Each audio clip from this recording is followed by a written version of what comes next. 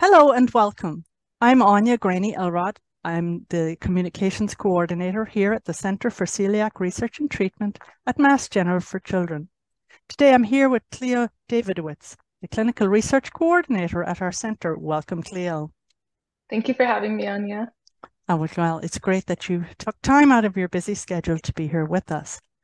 Um, now, Cleo, I was reading, I think it was last year, I was reading a study, which actually, if I recall, was a fairly local, as in here in the Boston area study, that people who study celiac disease and who, who make that their area of, uh, you know, scientific emphasis, uh, at about 42%, I read, um, either have lived experience of celiac disease or a family connection with celiac disease. And that certainly applies to you, correct? Yes, it does. I actually have celiac disease myself. Um, I was diagnosed when I was 10 years old. Oh. And yeah, I've been living with it ever since and kind of got into celiac disease research um, when I started working here at, at MGH. Right. So you're kind of the face here behind the statistic, right? Um, in fact, a number a number of our colleagues have lived experience with celiac disease. So going back to your, you know, your childhood, well, we'll start with where you grew up, and then if you want to talk a bit about your kind of diagnostic journey. Yeah, sure. So I grew up in New York City. Um, I lived with my mom, my dad, and my two younger siblings. And I'd always been a really slow grower, um, underweight, just very small.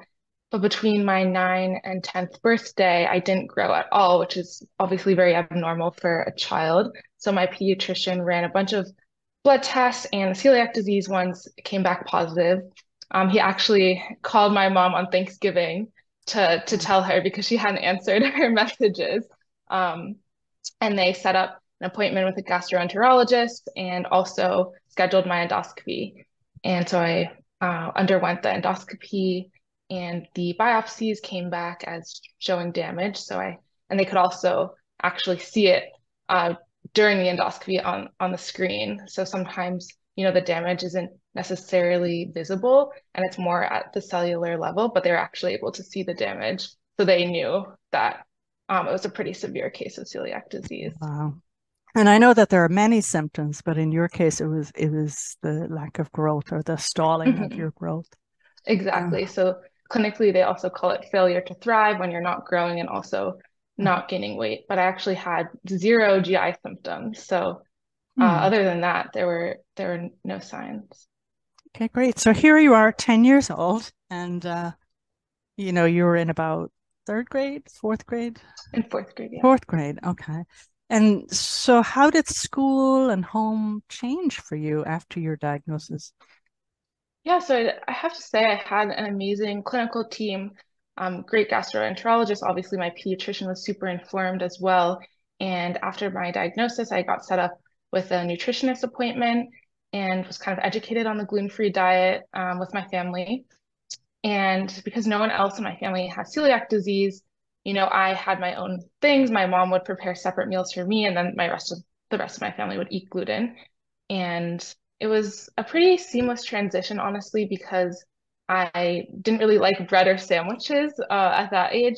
So it was it was easy to cut out some of the most common foods. I think other things were a little trickier where, you know, we didn't know that soy sauce had gluten in it or even mm-hmm. Twizzlers. I think I was eating Twizzlers um, and we found out they had gluten in it. And obviously I, I wouldn't get symptoms, so I didn't know when I was eating gluten or not. So it was a bit of a trial and an error, but um, you know, I was lucky that I could bring my own snacks to school and that the cafeteria at my school could provide gluten-free meals for me as well. And was that also true for when you went on to high school? Yeah, so that was in elementary school and then middle school. Um, I was continuing bringing my own snacks and my school would provide lunch. Um, and I did actually get glutened by my school twice, uh, which was unfortunate. So I, I ended up developing symptoms about two years after my diagnosis, um, GI symptoms. So that was kind of unusual to adjust to never having had any GI symptoms whatsoever to suddenly even a little bit of gluten made me react. Um, so that was one adjustment.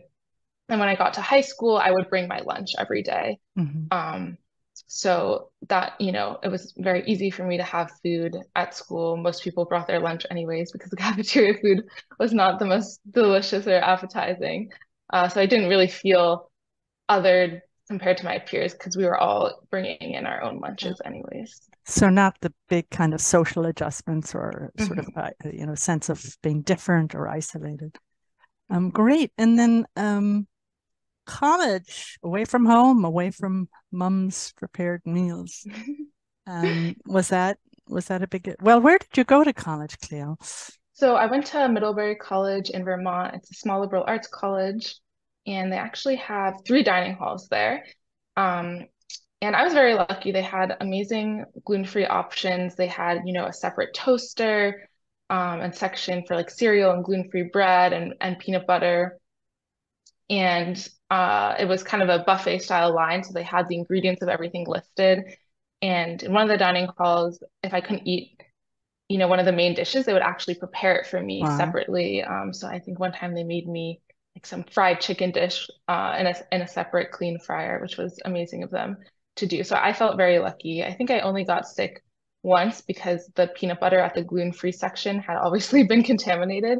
Mm-hmm. Um, so after that, they started putting the peanut butter in a separate cabinet. So I think the the only challenge or kind of extra step I would have to take would be to ask the kitchen staff for a key to unlock the toaster or unlock the panini press or get the peanut butter. So um, it you know it was a little bit harder compared to my peers in terms of accessing those things, but it had to be done for everyone's safety. So I understood why they had to keep it under lock and key right. Uh, so that we could avoid contamination. Right. Okay, and now here you are uh, in the Boston area, uh, out and working and, and in the field that's close to your passions, your interests. Um, talk a little bit about how I know that you've translated some of those experiences with navigating the gluten free diet, which, of course, as we know, is the only current treatment for celiac disease. And sort of how I know that you've used that on, you know, to, to self advocate and also advocate for others and, and sort of offering some guidelines about how to adjust to the diet. Um, do you want to talk a little bit about what you're doing in that area? in your kind of extracurricular life, if you will. Yeah. Yeah, of course. So I've always loved taking pictures of food, loved baking, cooking. And I think especially when you have a dietary restriction, it makes you value the meals that you do really enjoy. And that, you know, I'm always so excited when I find a gluten-free version of something that I've I've never been able to try. So I started about a little more than a year ago an Instagram called Celiac Cleo. And if you don't know, Instagram is a photo based platform where you can post photos and stories and interact with other other people online. So I started this just to kind of document, put a, have a place to document my meals and all the gluten-free restaurants or options that I've been trying in Boston.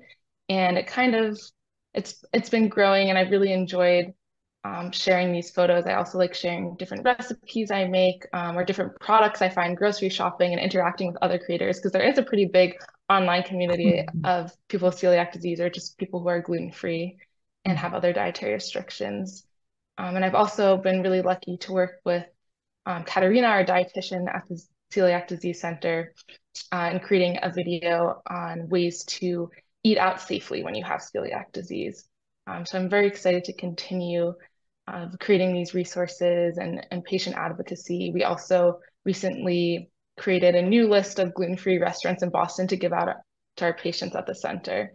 Uh, so all of these things have been really fun for me because you know I'm already doing the research for myself, so right. I I just love sharing it with other people as well. And you've lived through it. I mean, you're living through it every day, every meal, every every day. That's wonderful that you're so open to sharing it.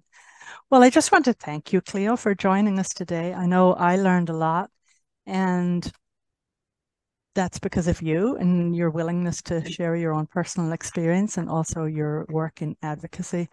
Um, some of these resources that Cleo mentioned, including the restaurant list and also that that um, research about uh, the link between lived experience in celiac disease and your areas of specialization. I will put those at the end of this video. So I want to thank you out there also for watching and for joining us today. So thank you again, Cleo.